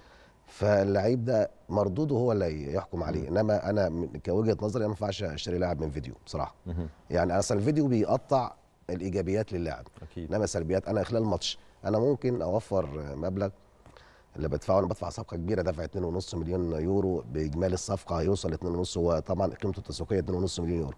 لو الصفقة كلها اجماليا مع مع مرتب اللاعب مع ال- المبلغ اللي هياخده نادي البرتغالي أنا تذكرة سفر أتفرج على اللاعب مرة واثنين وثلاثه من خلال الكشاف اللي إحنا مفتقدينه أصلا في القرى أنا المصرية أعتقد ده. يعني آه، دي أعتقد- أعتقد دي مهمة مسؤول التعاقدات مسؤول يعني آه. يطلع يبص مع لاعب كورة يقدر يبص على اللاعب يعني. فدي يعني يقدر مهمة يعمل. لازم يكون عندك مدرب بيشوف اللعيب أو مم. أو أو أو ناس تشوف اللعيب مسؤول التعاقدات في الآخر هو واحد هيجيب أنا عايزين لاعب لا دافع نجيبه لا لا أنا قصدي مسؤول التعاقدات مش مش هيعتمد على فيديوهات أنا قصدي حي... حي...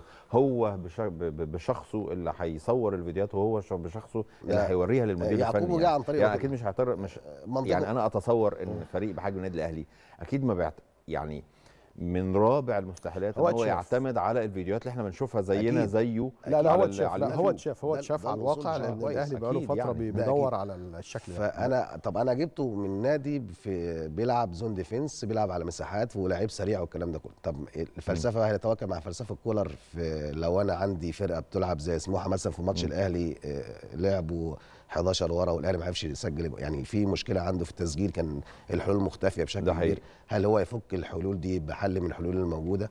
ده برضه يرجع ل طب أنا خلاص. هقول لك سؤال قبل ما طيب ما- إحنا عايزين نطلع بس فاصل الأول وهرجع للسؤال بتاعك وعايزين نرجع لباقي ال- الصفقات بتاعه النادي الأهلي. عندنا لسه محمد الضوي وعندنا لسه خالد عبد الفتاح. قبل ما ننتقل لصفقات نادي الزمالك خلونا نطلع فاصل ونرجع لكم تاني. أهلا بكم رجعنا لكم تاني من الفاصل كنا بنتكلم على أخبار الميركاتو الشتوي لنادي الأهلي أستاذ أحمد كان ليك محتاج تعليق سؤال. آه أو سؤال قبل آه قبل آه الفاصل اتفضل. محتاج أسأل آه آه خليني أقول لك خلينا نتفق ان إن اللعيب اتشاف يعقوب. وهو آه إن شاء الله يكون صفقة مميزة للنادي الأهلي. ماذا لو لم يوفق يعقوب مع كولر. هيفضل نفس التصريح للمدير الفني إن هو غير مقتنع بالمهاجمين دي كارثة أنا ما بعقبش على على على المدير الفني أو بهاجمه لكن آه، آه، التصريح آه، ربما يكون خانه أو اترجم بطريقة مش مظبوطة. أو طريقة يعني فيها فيها خطأ لأن ده بيعمل فقدان ثقة للعيبة طب ما فيش دخان من غير نار أستاذ معاك. أحمد حتى لو قلنا إن هو ما يخانوا التعبير طب هو كان يقصد إيه بال ما هو بال- هو بهذا هو التصريح هو التصريح هو ده ده ده حقيقة عنده التصريح يعني. حتى الآن لا ملوش حقيقة يعني أنا مش عارف أوصل لحقيقته. لأن ده كلام خطير كلام خطير لما المدير الفني يتكلم لعيبة إذا ما فيش مهاجمين خلاص يبقى عندك مشكلة في المهاجمين آه يعقوب لعيب خلينا نتفق ان إن من خلال اللي إحنا شفناه ممكن مم. يكون لعيب مميز مم. في المساحات الواسعة مم. إحنا عندنا مشكلة في مصر إن كل الفرق زي ما إحنا اتفقنا كده بتلعب الأهلي كانت دفاعيه طبعا. هتقدر بقى تعمل إيه؟ أعتقد دي هتبقى مهمة المدير الفني إن هو يحل المشكلة دي لأنه لو ما قدرش يدي الراجل الفرصة إن هو يكون عنده مساحات في الجري وفي ال في, في ال 18 ويبدا يتحرك أعتقد هيبقى صعب إن هو يستفيد منه. عظيم جدا. الصفقة الثانية اللي تم إعلان عنها آه، كابتن محمد الضوي آه،. من تونس آه، بيلعب طبعا. بديل لاكرم توفيق آه، هو ال- تحت السن. ال- اللي انصابه طبعا هو تحت السن. شايف إزاي الصفقة دي يا أستاذ محمد ضوي بيلعب جناح ما بيلعبش ظهير أيمن.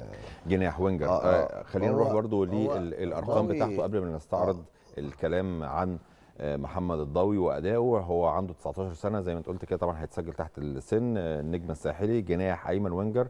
قيمة السوقية ليه مليون أورو. وكمان في عندنا برضو آه، عدد المباريات آه اللي لعبها في الدوري الدوري التونسي الموسم ده ست مباريات. آه، عدد الأهداف أربع آه، أهداف والتمريرات الحاسمه اتنين. يعني إحنا بنتكلم تقريبا في متوسط جون بكل هدف سواء كبيرة هدف أو اسيست في كل مباراة. إجمالي المباريات اللي هو لعبها 30 مباراة في كل المسابقات. سجل سبع أهداف صنع ثلاثة سجل سبعه وصنع صنع ثلاثة يعني بنتكلم في ثلث ال- المشاركات توزيع الأهداف واثنين بقدمه اليمنى وأربعة باليسرى وهدف من ركلة جزاء الراجل بيلعب برجليه الاثنين شايف الصفقه دي إزاي؟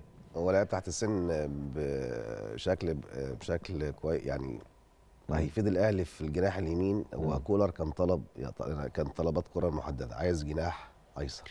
عايز واحد بيلعب برجله مكان طاهر. آه مكان طاهر يبقى آه. بديل لطاهر. إيه، برونو لعب في الجناح الشمال ما كانش كويس جدا في ماتش بيراميدز طبعا وبقاله في كام فترة كده مش بيقدم المردود المنتظر منه بشكل كبير. آه، ضاوي بيلعب جناح يمين كولر عايز جناح شمال فأنت جايب ضاوي أنت عندك أصلا آه، مشكلة في الجناح اليمين. عندك أكتر من واحد في الجناح اليمين ممكن يلعب. طب ضاوي هيلعب فين بالظبط؟ هيلعب في الجناح اليمين؟ يعني أنت كده ركنت أكتر من لاعب موجودين عندك ممكن يلعبوا في الجناح اليمين. لو ضاوي هيلعب اساسي عليهم طبعا. هو لعيب تحت السن هيتسجل تحت السن. آه، برضو الفيديوهات اللي اللي هو شوف- ممكن يلعبه اللي فوق حسين شفناه الشحات. ممكن يلعب أنا بتكلم ان ده مركزه الاساسي ده البوزيشن بتاعه في الملعب بيلعب حسين الشحات حسين الشحات يلعب مكان أكرم توفيق وهو ممكن يلعب لا يلعب أكرم اكرم. هيجيبه خلاص خالد عبد الفتاح عشان خاطر يعني آه، خالد مشكلة الظاهر خالد عنده دي. مشكلة في في الشق الهجومي يعني عنده فال... شق دفاع طبعا هو راجل دفاع أكتر بشكل كبير يعني فضاوي أنا شايف إن هو صفقة أنا ما كنتش شايف إن الاهلي ممكن يتحرك فيها آه أنا عندي 19 سنة عندي قطاع ناشئين ممكن أجيب منه أقدر أصنع منه لاعب بدل ما أدفع مبلغ كبير في لاعب آه، عندي تعقيب أنا. أعتقد أعتقد. إن الأهلي ما كانش هيقدر ياخد فلوسه من النجم الساحلي بتاعت سليماني آه فهو كان بيدور على أي فكر لعيب ممكن إن آه. يجيب حد النجم الأبرز عنده أو لعيب اللي طالع ممكن يبقى له مستقبل آه. فأقدر أخده بمبلغ وأخصم قيمة الفلوس اللي عندي وخ- يعني ده أعتقد ده التفكير اللي هم فكروا فيه يعني. أستاذ أحمد الشامي آه، أستاذ أحمد آه، عبد الحميد كان يعني آه، وجهة نظره إن في لعيبه آه، آه، أكثر آه، يعني مهارة أو أكثر تاثيرا ممكن إن إحنا كان الأهلي آه، يتعاقد معاهم من الدوري المصري أو من قطاعات الناشئين قطاع الناشئين في النادي الأهلي أنت متفق أو مختلف مع أهمية آه، آه، أحمد محمد الضبي بص أنا أنا عندي وجهة نظر دايما في التعاقدات آه. ما اتعاقدش إلا لما يكون عندي لعيب هيفرق معايا في الشق الهجومي بس آه. كل اللعيبة في نص الملعب في ليه بس. بدر بنون لما جه النادي الأهلي برضو كان آه، عمل فرق كبير جدا عمل يعني. فرق كبير أنا بس بتكلم على لاعب صغير. عايزك تتفرج بقى يعني بدر بيقول قاعد شوية كده. آه. ما يلعبش شوية. مم. أنا مش محتاج مدافعين. أنا محتاج ناس تجيب لي جوان أنا أنا ما عنديش مشكلة في, في الدفاع في نص الملعب. كل ده ممكن أي أي حد يسد في الم- في المنطقة دي. أنت عايز واحد يجيب لك الجوان. أنت عندك مشكلة إن الكرة بتوصل ال 18 ما بتعرفش تجيب بيها جون. انت بتدور على مهاجم. الأهلي في وقت جوزيه لما جاب فلافيو وكان جيلبرتو بس كان فلافيو تحديدا. والراجل قعد سنة كده ما يجيبش جوان وبعد كده بقى واحد تاني خالص. هو ده انت لاعب محتاج لعيبة بالشكل ده. هو ده اللعيبة اللي انت محتاجها. مش محتاج ان انت أجيب مدافع وباك يمين وباك شمال ونص ملعب وهاب لا ده كله كتير. طيب صفقة خالد عبد الفتاح. آه يعني بص آه آه كان كان عندي يعني شوية بتكلم مع مع زميلنا الأستاذ أحمد درمان رئيس تحرير قلت له إحنا أكتر الأهلي أكتر نادي بياخد لعيبة من سموحة. أنا أنا أنا مستغرب اللعيبة بتروح وتيجي ما طب بين خلينا طيب نروح نشوف أرقام نشوف خالد. عبد الفتاح. هو عنده 23 سنة من نادي سموحة ظهير أيمن. القيمة السوقية بتاعته 200 ألف أورو. آه عايزين نشوف برضو عدد المباريات اللي هو شارك فيها في الدوري المصري الموسم ده 10 مباريات. آه ما سجلش وما صنعش.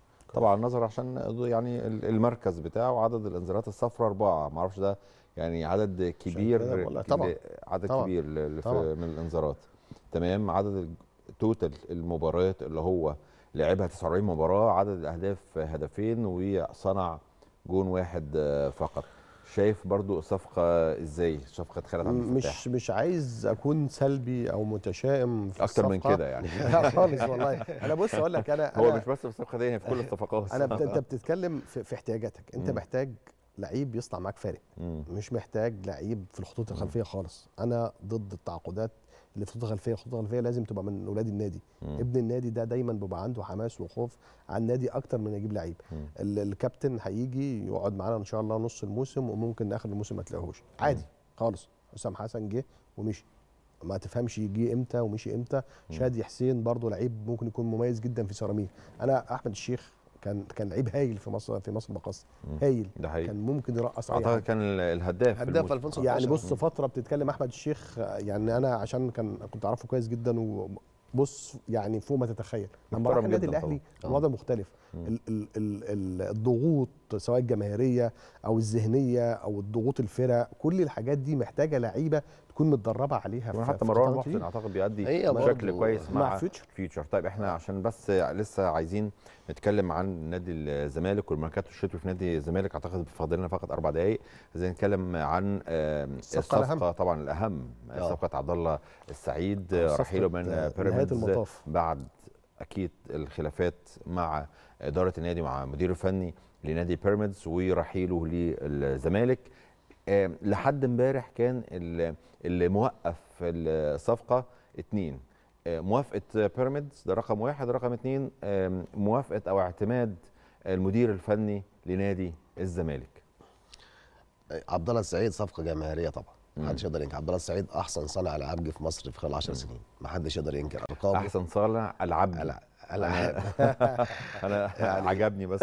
يعني هو بصراحة يعني ما حدش يقدر ينكر مهاراته وينكر إن هو لاعب خبرة لا ينكر إن هو لاعب يقدر ينقل الفرقة بشكل كبير. بيراميدز مستواه ثابت جدا مع بيراميدز بقاله أكتر من موسم. هو صفقه جماهيريه للزمالك أكتر منها فنيه. ده أعتقد ده رقم واحد. إنما هل يحتاجه الزمالك؟ أنا أعتقد إن هو يحتاجه. رقم 10 الزمالك مش موجود. رقم بس هل 10 الطريقة اللي بيلعب يوسف أوباما يوسف هل الطريقة اللي بيلعب فيها المدير الفني أو الزمالك بتحتاج رقم 10 صانع ألعاب صريح. الطريقة ممكن تتغير عادي مفيش مشكلة خالص. هيغيروا الطريقة عشان عبد الله طبعاً- السعيد طبعا لو جاب عبد الله السعيد ده هيلعب طبعا برقم 10 بشكل ما بيلعبش برقم 10 دلوقتي. يعني بيلعب امام عاشور رقم واحد في وسط الملعب هو اللي بيقدر يصنع هو اللي بيقدر ي- بي بي بيروح على الأطراف بيخلق بيعمل جبهة مع أحمد سيد زيزو بيعمل جبهة مع سيد نيمار يعني بيتحرك بشكل لعيب متحرك رقم 8 آه بس بيتحرك في وسط الملعب بشكل أكبر. عنده وظائف وخصائص رقم 10 بس هو مش رقم 10 أنا عبد الله السعيد هيفيد نادي الزمالك جدا طبعا. هو بس هو في الأساس هو صفقه جماهيرية طبعا. وأنا أتمنى طبعا إنه يروح الزمالك بصراحة. تتمنى يروح الزمالك. طبعاً. آه، آه، أستاذ أحمد آه، عبد الحميد بيتمنى ان هو يروح الزمالك. أستاذ أحمد الشامي. آه، أنا شايف إن الزمالك هي نهايه المطاف لعبد الله السعيد خلاص أكيد هيختم حياته في الزمالك. ممكن يلعب آه، موسم ونص آه، يعني نص الموسم ده والموسم اللي بعده. صفقة يعني آه، ممكن تعمل فارق مع الزمالك. عبد الله السعيد لعيب آه، مميز آه، يعني على طول الوقت لعيب عنده حلول. آم، يعني يقدر يوصل المهاجمين بأبسط الطرق آه، للمرمى. ده ده شايف؟ ده. ده ده ده, ده اسمه السهل الممتنع عنده. هو بيعمله. كويس قوي. بس آه انت برضو محتاج يبقى عندك بدايل كتيره لأن اللعيبة لو انت رحت اعتمدت على لعيب واحد. هيعمل لك مشاكل بعدين. عبد الله آه آه بقاله فترة ممكن يكون مع بيراميدز ثابت بس الناس مش. شايفاه عشان بيراميدز برضو ما عندوش ال- ال- التركيز الهجومي. الجماهيري التركيز الجماهيري ده ما بيعمل إزعاج لأي لعيب طيب عايز أختم. معاك أستاذ أحمد شايف الزمالك محتاج آه، إيه عشان يعني إيه المراكز اللي هو محتاج عشان يدعم بيها آه، صفوفه في الموسم ده الزمالك محتاج طبعا في خط الدفاع لاعب آه، في خط الدفاع طبعا لتعويض الونش آه، الونش مؤثر. بشكل كبير مم. لازم يكون عنده بدايل آه، في خط الدفاع لأن الزمالك في قادم ال- قادم قادم المباريات هيبقى في أكتر من بطولة فهنخش في دوري ابطال هيبقى محتاج سكواد كتير عن ال squad اللي موجود ده فمهاجم طبعا وراه طبعا مهاجم مع سيف الجزيرة ما فيش سيف ما فيش بديل ليه موجود فلازم سيف الجزيري خلاص آه، مشي من النادي المفروض في الميركاتو ده. يعني لسه برضو هيمشي أو هيمشي يعني برضو احتياج الزمالك ليه ضروري جدا لأن مفيش غيره. لو الزمالك هيمشي يبقى كده عنده بدل لأن سامسون آه، ما حدش يعرف عنه حاجة يعني أو. ما شفناش سامسون ما شفناش إن هو ممكن ممكن يبقى يحل محل مهاجم يبقى رقم واحد في الزمالك. ده صعب جدا برضو وده عيب برضو الفيديوهات. سامسون جيب فيديوهات وده طبعا دي حاجة مش كويسة جدا يعني. مع إنه كان البداية. بتاعته يعني قد تكون أو بدت مبشره في آه، البصمة- أول مباراة يعني آه يلعبها بصمه التهديفية. أنا ممكن لا لا ممكن لعيب يعيش على هدف. زي برونو سافيو كده ما عاش على هدف السوبر في ال في, ال في الزمالك. بس أنا الاستمرارية أنا بتحكم على لاعب بالاستمرارية بتحكم على مدير فني باستمرارية بتحكم على أي حد إنه يستمر على نفس المنوال. ده حقيقي. أتفق تماما. ممكن أتفق ممكن تماما. ما يبقاش كويس في ماتش كويس في ماتش بس استمراريته في في مجمل المباريات 90% بيقدم مردود كويس لا يبقى لعيب كويس. مش أمشي على سطر و10 عظيم جدا. يبقى صعب جدا. كلمة أخيرة يا أستاذ أحمد. آه، أعتقد إن الأهلي والزمالك محتاجين يعيدوا النظر في الصفقات اللي بيتعاقدوا فيها أها. سواء أفريقية أو أوروبية ال- الأهلي والزمالك المفروض يكون عندهم لعيبة أحسن من كده بكتير. اللي بت... أنت بتشوف إنبي عندها لعيبة مميزة المقاولين عنده الاتحاد سموحة كل الفرق ال- أو فيوتشر كل الفرق ال- ال- اللي هي أقل جماهيرية من الأهلي والزمالك بيبقى. عندهم اختيارات أفضل من الأهلي والزمالك الأهلي والزمالك بجد محتاجين يرجعوا يختاروا لعيبة سواء على أي مستوى أفارقة أو أوروبيين بعين أقوى من كده شوية بأكثر فايدة. ما يبقاش عندي لعيبة بجيبها تقعد معايا فترة ما استفدش منها وتمشي وأجيب غيرها علشان ما يبقاش في آه، عدم استفادة للعيبة دي. بشكرك شكرا جزيلا أستاذ أحمد الشامي. شكرا موصول ليك أستاذ أحمد عبد الحميد. كده مشاهدينا نكون خلصت حلقة النهارده من رقم 10 إن شاء الله. بكرة حلقة جديدة. أشوفكم على خير. سلام عليكم.